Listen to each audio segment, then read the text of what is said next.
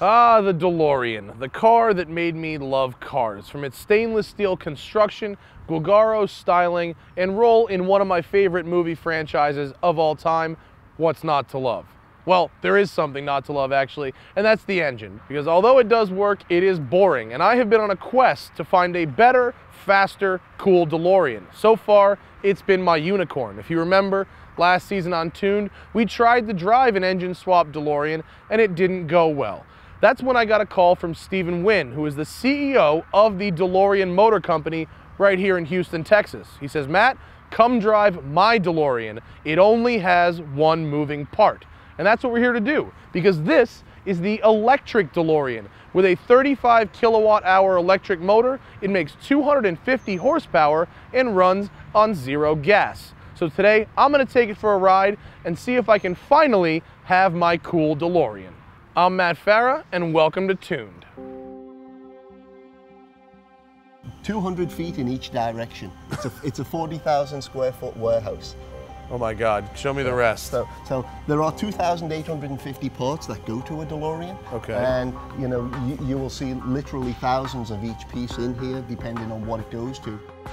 You see the engines here to the right. Um, these are NOS crate engines. There's probably about 75, 80 engines here, which is what we have left from the original inventory. So you literally purchased the entire factory's worth of inventory, right? Yeah, yeah. Water panels, then we've got glass and hoods and fenders here to, to the right. At the end of it, you know, they just had this freaky condition where they had masses of inventory that they normally wouldn't have had, and then they went into receivership. So, you know, we've been able to, to you know, to work with this inventory for the past 15 years since we acquired it. There's gotta be a thousand doors here.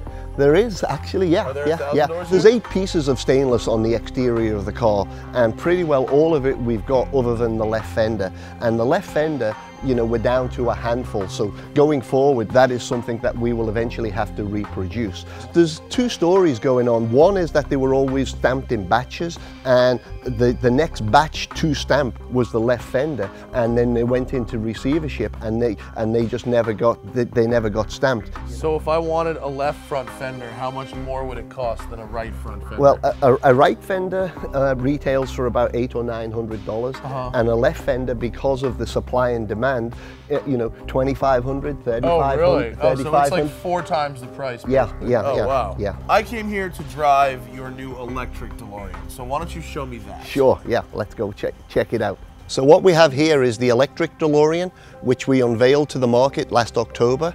The car has 35 kilowatts of power on board.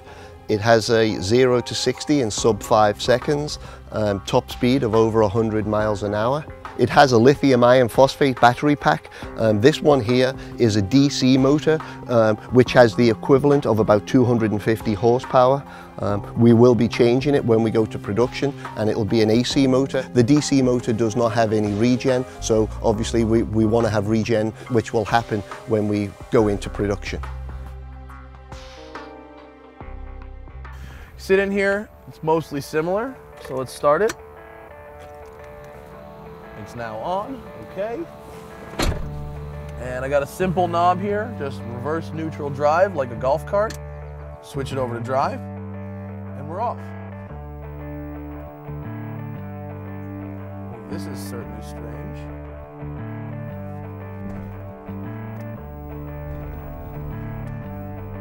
It's pretty quiet in here.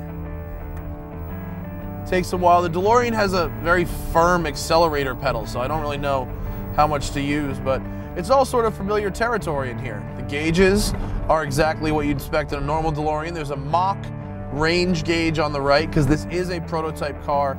It's not fully done. There's a battery gauge up here, which is just a mock-up right now. There's an actual auxiliary battery gauge down there, which is functional, but I have a full charge, so I don't imagine I'll be running out anytime soon torque my way out of corners very nicely. The electric motor in this car makes 230 horsepower and 240 pounds of torque, which is actually not bad. It's almost twice the torque the original car made and about 100 horsepower more than the original, but it does carry around about 300 pounds of extra weight. And you feel it through the steering, if not through the engine. Now, if you thought the Camaro required a gangsta lean position, you've never been in a DeLorean because I feel like I'm in a Formula One seat right now with how far I'm laying down. It's also a prototype and therefore does not have air conditioning. So this tiny little window here, that's all you get. The good news is I can still drive with the doors open if I ever want a freshy fresh breeze. And actually quite prefer that. This is better. All right, there's traffic coming. I'm gonna pull out in front of traffic quickly. Let's see, that's that's floored. Here we go. There's 15, 20 mile an hour, 50. There's 70. Oh, so it goes. It, it does get up and go a little bit. In a Tesla, you get that really loud, pronounced the Jetsons noise. In this, is really nothing. You don't hear a whole lot of electric motor. And, and we have a microphone back there in the uh, well motor compartment, and I'm not really sure if it's picking it up. Tom, is it picking it up? We're not getting any real sound back there either.